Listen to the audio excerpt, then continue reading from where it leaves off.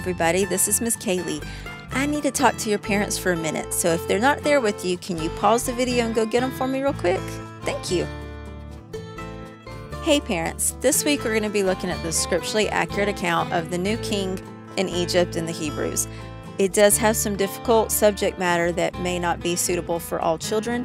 If you would, look at the screen to see some of the things that will be discussed. Also, we have something in our nature lesson that may not be suitable for all children. If you would, look at it, decide if it's right for you and your family. If it's not, you can skip ahead. We have the timestamp and the description, so you can skip if you need to and not miss out on the rest of the lesson. All right, let's get going. Shabbat Shalom.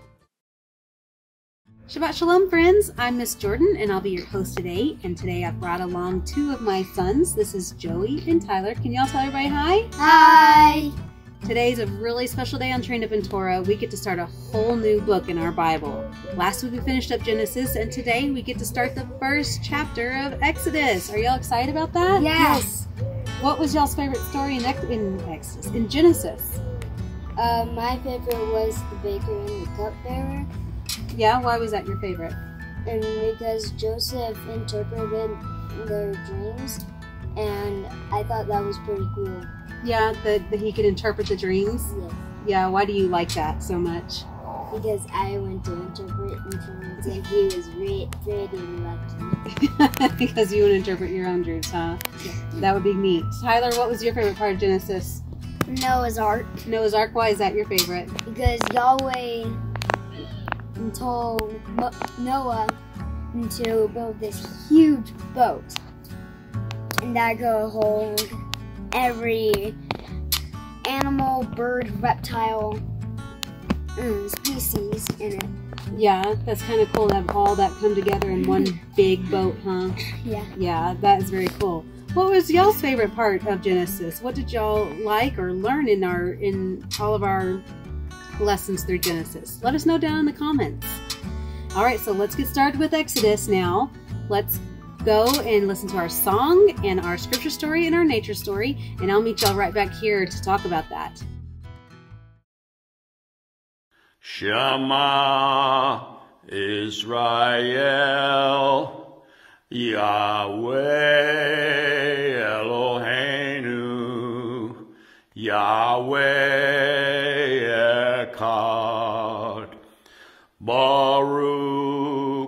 Shem Kevod Malchuto Leolam Vayed. Amen, amen.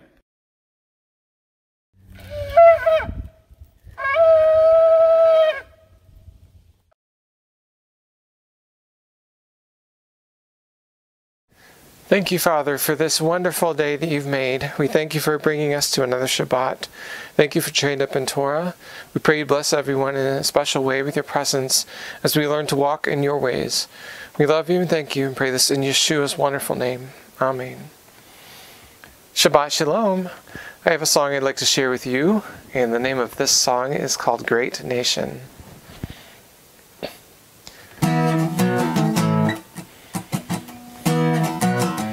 This is the story of a great nation, the sons and daughters of Jacob, whose name was changed to Israel, whose story I would like to tell. How they grew up and multiplied, the Hebrews living right beside the Egyptians in the sand, growing great and filling up the land.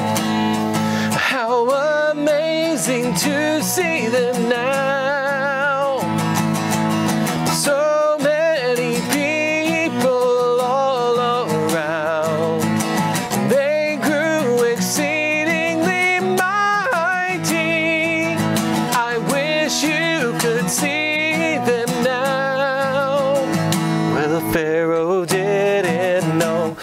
Joseph, who was one of their own. So he started to afflict them more. Working hard, they were very sore. And then he tried to kill their sons, to take the Hebrews down one by one. This the midwives wouldn't do. And so Yah's children grew and grew. How amazing to see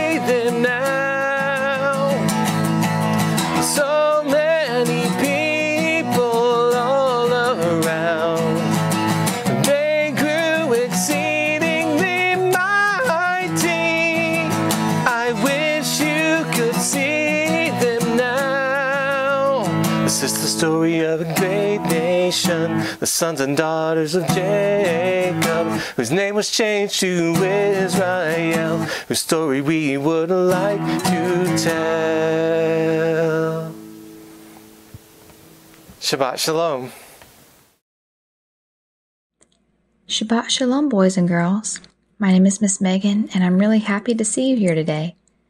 Today, we're going to be starting our journey in Exodus. So let's turn in our Bibles to Exodus chapter 1.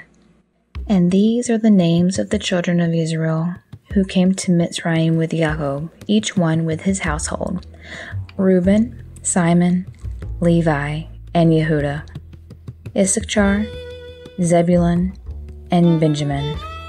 Dan and Naphtali, Gad and Asher.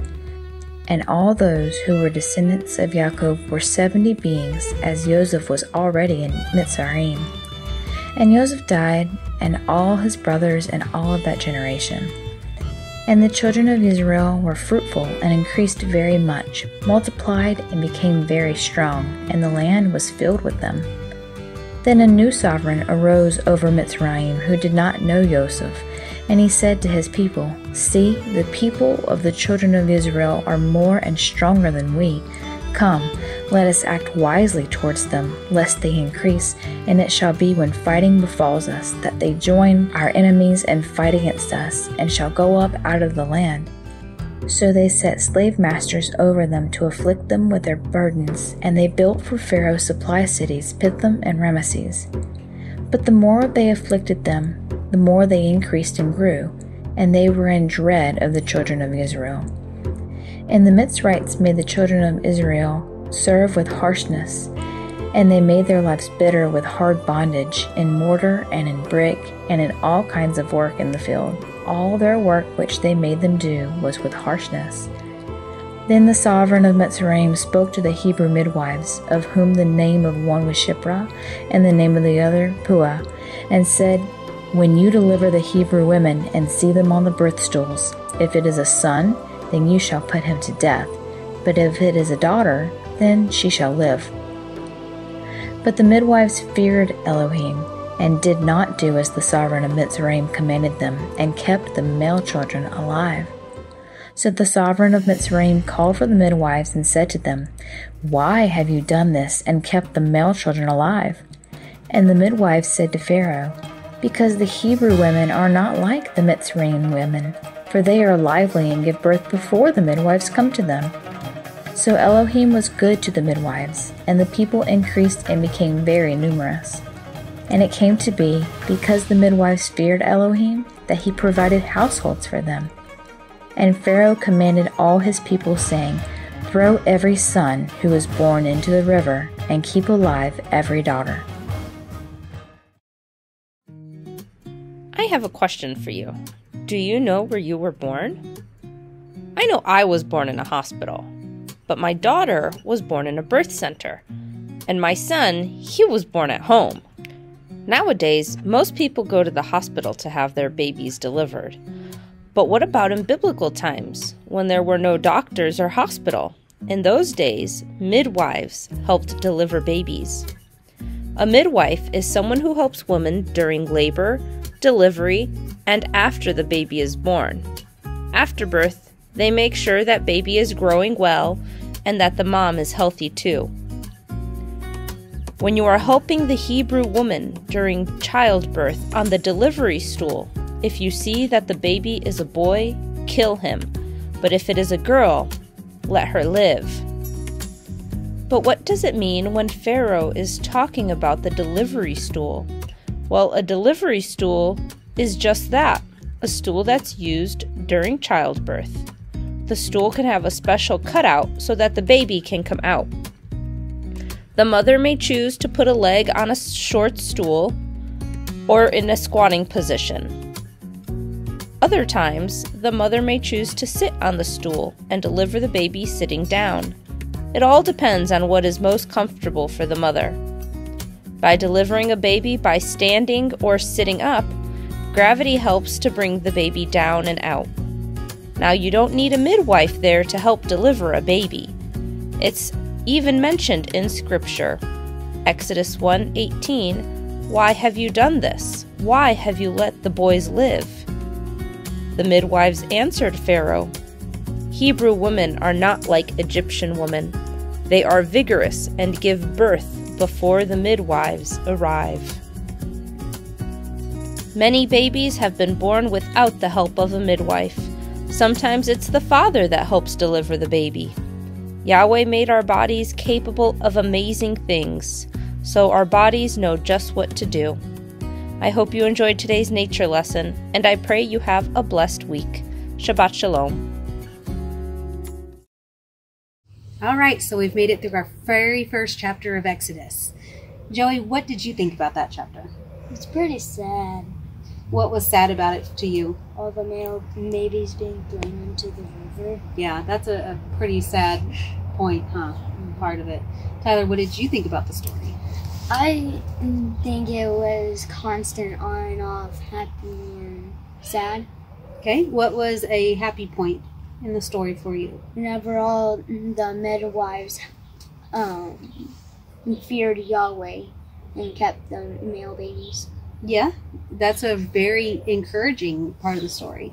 But what was sad to you? Whenever they were forced to throw their babies into the river. Right? Yeah, that that is a very probably the most dramatic and, and sad part of this chapter for sure. But, but why weren't the daughters thrown into the river? Because it would still be increasing. Right, because because women have the babies, so why not just kill them both? Mm-hmm. Well, you know, in the chapter it speaks about Pharaoh, the Pharaoh being worried that the Israelites were going to multiply so much that they would overtake the Egyptians, and the males are who would become the army. Ah. So I'm I, I'm assuming that maybe that had something to do with him wanting to kill and get rid of the males so that they couldn't rise up and grow an army. Okay. Yeah. So I like what Tyler brought up about how the midwives feared Yahweh, and that caught my attention too. And I just wanted to um, emphasize the point that the, the midwives they feared Yahweh over man, and they were much more concerned over um, their their respect and um, obedience to Yahweh than to Pharaoh, and what the consequences of uh, disobeying Yahweh would be over the consequences of disobeying Pharaoh. And as we see, God protects them, and then He goes on and He provides for them greatly. And so we, we know we can always put our trust in Yahweh. We can put our trust in following Him, and that He will um, be with us and reward us for that obedience and for that that faithfulness. All right, we're going to move on to our Hebrew lesson, our history lesson, and our moral lesson, and I'll meet you right back here after those. Shabbat Shalom. For this week's Hebrew, we're going to have another Hebrew review where we look at an old chapter from Genesis and just go over the words again. I hope you enjoy. Shabbat Shalom.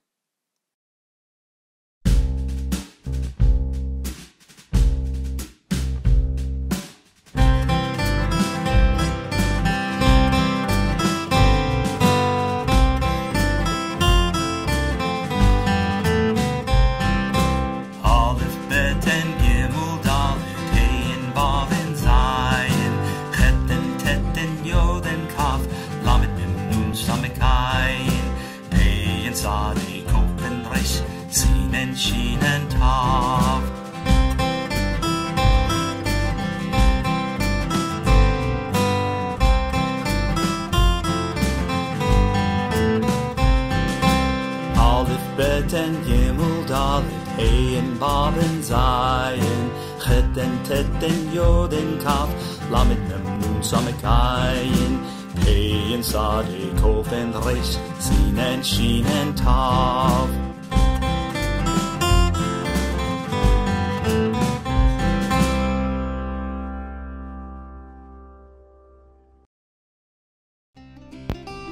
Shalom, Mishpacha. This is your Chavara Yohana, or Miss Joanna, here with Bryn to present this week's Hebrew language lesson. Today we will learn how to say the names of the body parts in Hebrew. This after hearing about the creation of Ben Adam, or human beings, or literally children of Adam, from Genesis chapter 2. Genesis is the first book in the Bible. The Hebrew name of this book of Torah is Bereshit, which means beginning. The very first words in the book of Bereshit are In the beginning, Yahweh created. Today we learned about Yahweh's creation of the first Ish, man, and the first Isha, woman, who were said to be created Betzalem Elohim, that is, in the image of Elohim. Scripture tells us that Yahweh created the Ish, man, from the dirt of the ground, and he named the Ish, man, Adam, or Adam. The word Adam comes from the same Hebrew root word that both red and dirt come from. Some people explain that the dirt Yahweh created Adam from must have been red clay, and that's why Yahweh gave him the name Adam, or Adam. From today's Bible story, we learn that Adam, or Adam, could not find the right partner for himself from among the animals in the garden. So Yahweh caused Adam, or Adam, to fall into a deep sleep, and while he was sleeping, Yahweh took one of Adam's ribs and created the first Isha, woman, so Adam would not be alone. Adam called the woman Chava, or Eve, which means life or life giver, because she was called the mother of all the living. Yahweh called the Isha, woman, an Ezer Kenegdo, which is a difficult phrase to translate into English, but could be said to mean something like a very close and very strong friend who works well with the Ish, man, when he is working righteousness. Yahweh then set Adam, Adam, and Chava, Eve, to work together in the garden. Part of Adam's job had been to name all of the animals. Today, our task is to name the body parts of Ben Adam, or human beings, in Hebrew. So let's start at the head and we'll go to the toes. I'll say each word and then I'll repeat it, and then you try and say it. Okay? Let's begin. The Hebrew word for body is goof. Goof. The Hebrew word for skin is or. Or. The Hebrew word for head is rosh. Rosh. The Hebrew word for face is panim.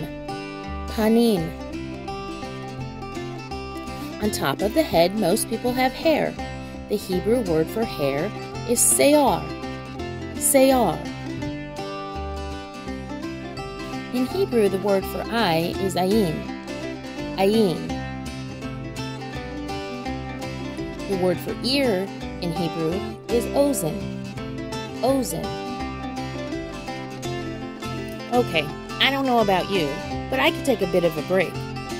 So wherever you are, from head to toe and hands and feet, let's just shake it all out. Shake your whole body. Shake, shake, shake. Shake everything out. Get out some energy. Just shake, shake, shake. all right. Doesn't that feel better? Now let's get back to work. The Hebrew word for nose is off. Off. The Hebrew word for mouth is pay. Pay. In Hebrew, the word for lips is sfatayim. Sfatayim. The Hebrew word for tooth is shen. Shen. In Hebrew, the word tongue is lashon. Lashon.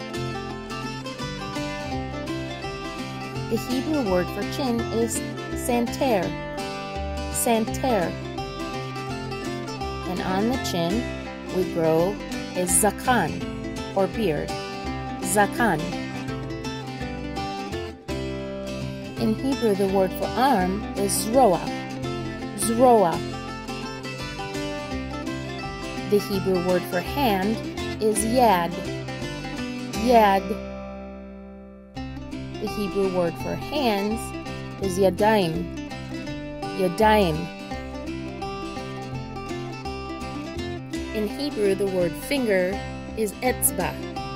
Etzba. The Hebrew word for fingers is etzbayot. Etzbayot. The Hebrew word for shin is shok. Shok. The Hebrew word for foot is regel. Regel. The word for feet in Hebrew is reglaim. Reglaim. In Hebrew, the word back is pronounced gav. Gav. The Hebrew word for belly or tummy or stomach is beten. Beten. Ben Adam, or human beings, have lots of body parts, and we only talked about a few. But those myriad body parts all come together to make up individual people. People who are made Betzalem Elohim, in the image of Elohim.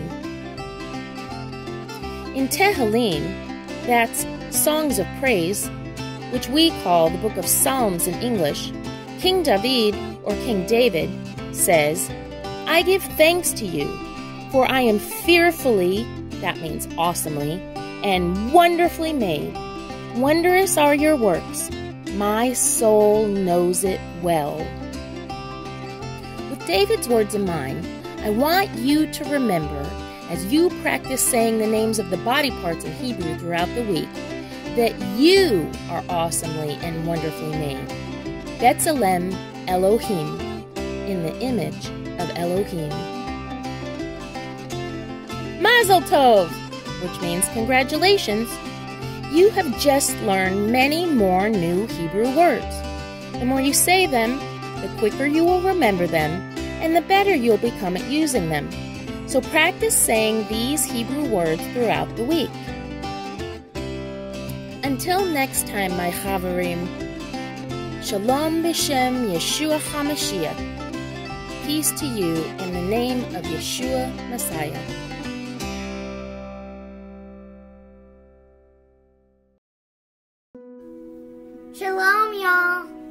Hey, it's Miss Jessica here with our history lesson today and Miss Aowen to help. I hope you all are having a blessed Shabbat. Wow, we can you believe that we are already in the book of Exodus or Shemoth? Learning our way through Genesis or Bereshith with you has been so much fun. I am so excited to be starting a whole new book with you. What about you, Aowen? So am I. Well, something stuck out in today's story for me. Some very brave women were mentioned in today's scripture story. Did you happen to catch who they were? Well, their names, and please forgive me if I mispronounce these, were Shifra and Puah, and they were midwives. If you haven't heard of a midwife before, they are a person, typically a woman, trained to assist women in childbirth. The easy way to understand that is that they help moms to deliver their babies into the world. How cool is that? We even read about some midwives back in Bereshith when Rachel was giving birth to Benjamin, and also we saw one mention when Tamar was giving birth in Genesis 38. Well, midwifery has been around for a very long time, hasn't it? Pretty awesome. The job of a midwife has them relying on their instincts and emotions as well as their knowledge and skills to help the mother and child have a safe delivery. This knowledge in the days of Scripture had to be passed down to one another as they trained their successors. Their successor was someone who was learning the skill from them and they would eventually take over their job.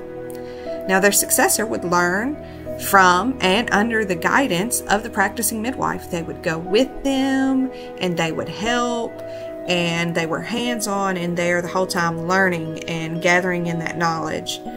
Nowadays, to become a midwife, you must complete and graduate certain programs. It's a lot of hard work, but the midwives that I know of think that it's a super duper rewarding and awesome job, which I have to agree, I think that it is. Well, that's all for this week. I hope you guys have a blessed Shabbat. Shalom. Hey guys, this is Miss Megan again, and I'm back to talk about something I noticed in today's lesson. Toward the end of the story, Pharaoh gives a command to the Hebrew midwives to kill any baby boys that they deliver. And it says in verse 17, But the midwives feared Elohim and did not do as the sovereign of Mitzrayim commanded them and kept the male children alive. That act from the midwives was incredibly courageous. Disobeying the king's new rule could very well have ended their lives, but they decided they feared Elohim more than anything Pharaoh could have done to them and their physical bodies. They knew their souls were at stake. So, what exactly does it mean to fear Elohim, and how do you do it? Well, let's take a look at scripture to get a better idea. In Proverbs 8:13 it says, "The fear of Yahweh is to hate evil." Proverbs 97 verse 10 says, "You who love Yahweh hate evil. He guards the lives of his kind ones. He delivers them out of the hand of the wrong." And in Ecclesiastes 12:13 it says, "Fear Elohim and guard his commands, for this applies to all mankind." Hmm. I'm seeing a pattern here. Are you? To fear Elohim means to not do what he says is evil and sinful, which is another way of saying to follow his commandments. So, by doing what he says is good and righteous and following his commandments, we are fearing Elohim. See? I knew we could figure this out together. So, following his commands, got it. Simple enough, right? Keep the Sabbath, don't lie, obey your parents, and I'm not going to murder anyone, so we're doing pretty good. This seems far easier than standing up to Pharaoh and breaking his rules, or when Abram was told to put his son Isaac on the sacrifice altar, or even when Esther stood up and spoke out against the man who wanted to wipe her people to extinction. We aren't living in times quite like those, so how hard could this be? Well, what if you're hanging out with your friends and they start gossiping? Or even worse, they start directly saying hurtful things to someone else? Are you going to stand up to your friends and tell them what they are doing or saying is wrong? Standing up to your friends and doing the right thing may not cost you your life, but it could cost you a friendship. So, what do you do?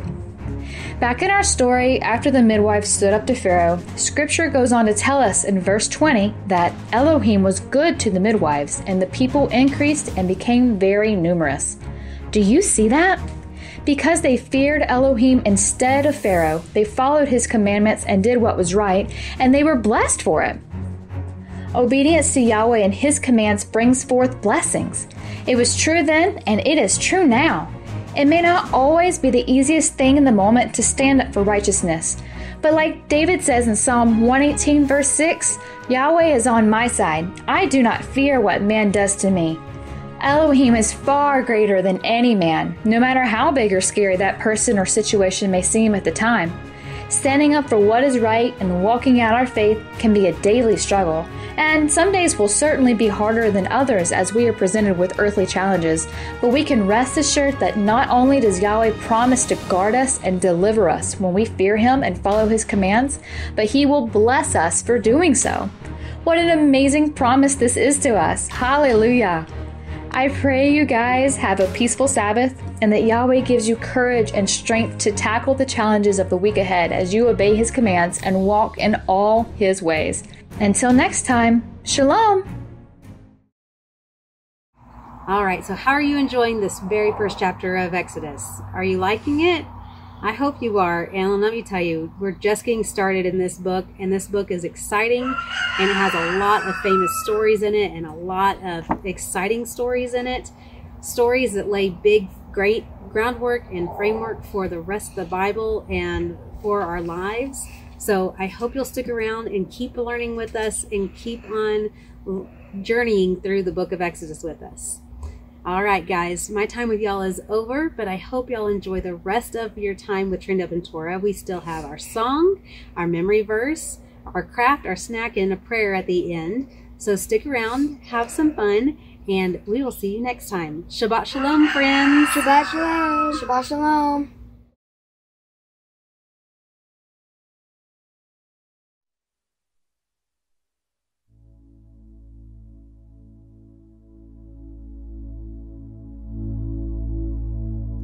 Jesus, Yeshua, care? When my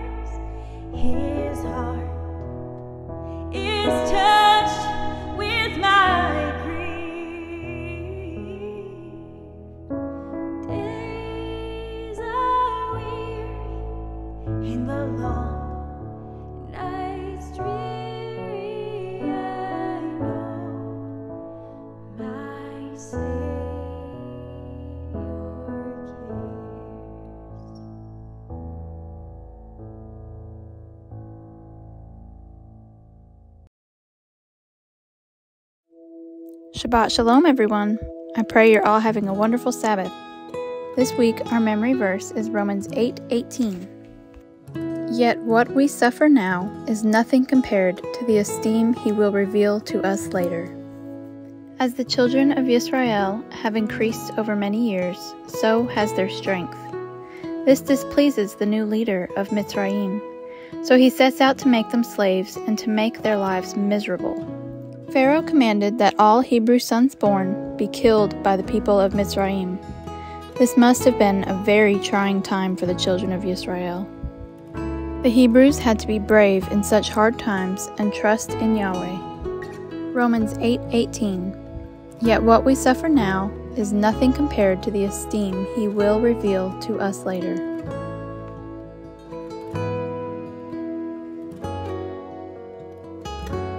Shabbat Shalom and have a wonderful week, everyone. Hey kids, this is Miss Delana, and for our craft today, we will be making memory verse bricks. You'll need a brick, craft paint, paintbrushes, a permanent marker, water, a paper towel, a paper plate, and a piece of paper. I've already painted one side of my brick as an example. Here I used flowers, but you can paint yours however you like.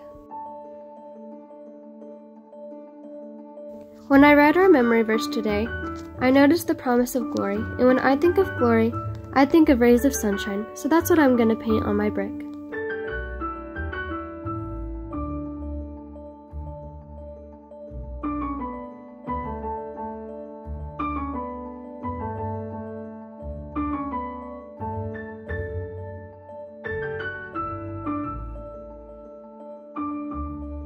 You may be wondering why we're painting bricks today. What does that have to do with our story?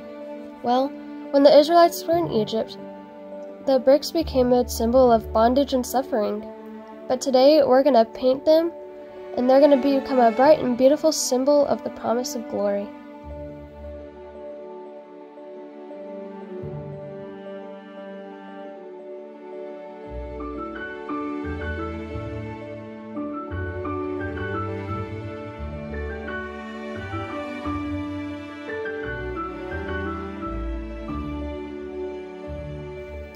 When you're done painting your brick, you can use a blow dryer to speed up the drying process. But once they are dry, you can take your permanent marker and write down the memory verse in the center of the brick, like I did. Now you can put these bricks in your garden, and you can even do it with other memory verse and watch your garden of scripture grow. Shabbat Shalom!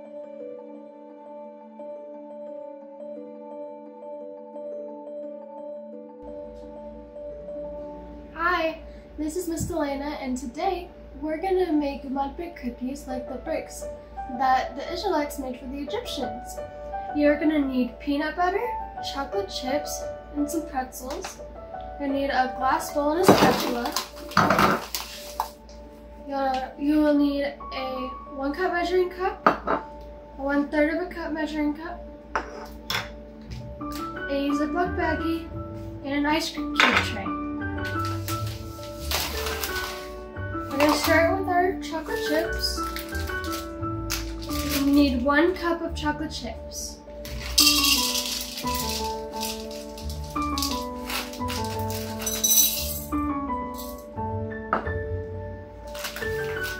And now we need our peanut butter. I'm gonna use one third of a cup. We're gonna put that in with our chocolate chips.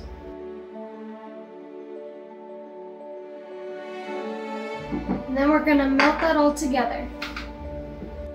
Okay, now I have that mixed together, and I just melted it in my microwave for about 10 to 20 seconds at a time until it's all melted together. So now we have our peanut butter clay and our chocolate chip mud, and now it's time to get our straw ready. So we're gonna take our baggie, we're gonna put some pretzels in it.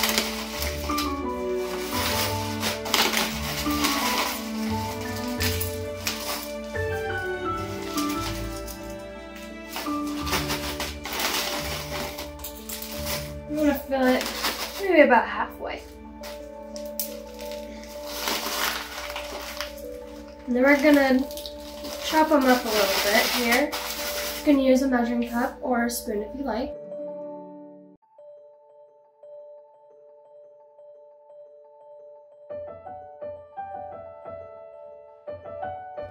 Okay, so now all of them are at least broken in half. And now we're gonna measure about one cup out of them.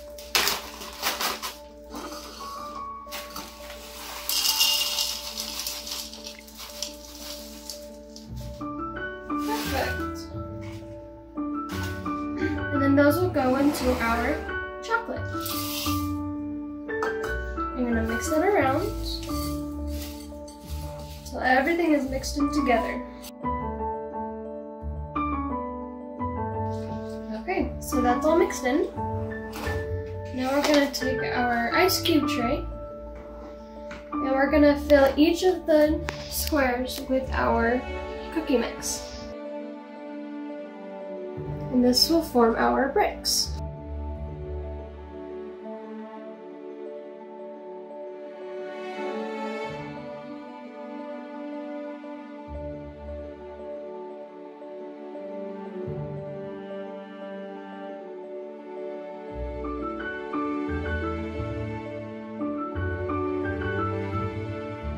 Okay, so now you can put that in your freezer or just let it sit on your counter until the chocolate is set.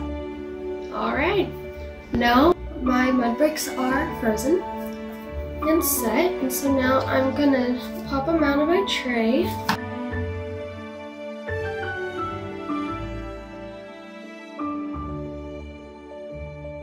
So now you can kind of break off little pieces that are sticking up. Stack them kind of like bricks.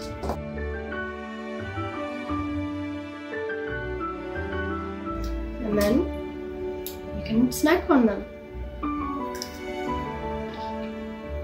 Those are really good. Well, I hope y'all enjoyed our snack today. And y'all have a blessed Shabbat. Shabbat Shalom.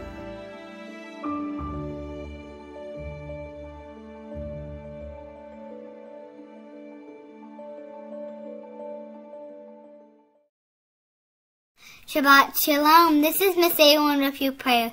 Yahweh, please be with Shabbat School and please be with the people all working on Shabbat School so they can learn and understand and let their children or whoever is around them and their family to learn about the Bible and follow Scripture. And Yahweh, just thank you for history and prayers and song and Shabbat school so we will have more fun. In Yeshua's name, hallelujah.